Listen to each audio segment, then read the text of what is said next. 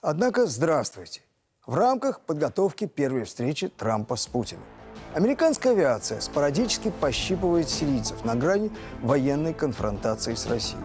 На украинском направлении встреча с Порошенко проведена на низшем дипломатическом уровне.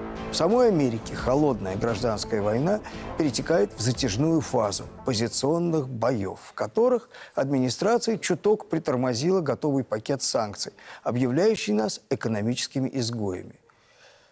То есть все готово для успешного проведения долгожданной встречи.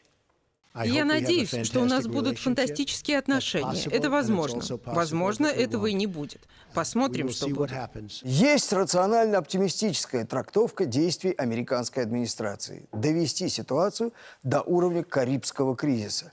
Прогрессивная общественность, наконец, вздрогнет, оказавшись на краю ядерной катастрофы, а администрация отмажется от связи с русскими хакерами.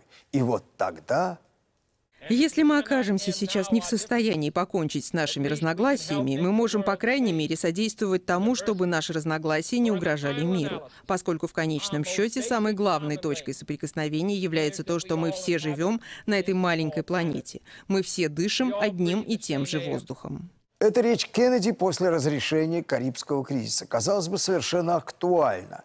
Однако есть нюансы. Америка Трампа – это не Америка Кеннеди и даже не Америка Линкольна, который, кстати, вел настоящую гражданскую войну, даже не холодную. Гражданская война Линкольна – это война с мятежными штатами за власть федерального правительства. Гражданская война Трампа – это война сгнившей системы против несистемного президента. Америка Линкольна и Кеннеди могла убить и Линкольна, и Кеннеди, но она не могла убить Америку. Америка Трампа не может убить Трампа, но она может замочить саму себя.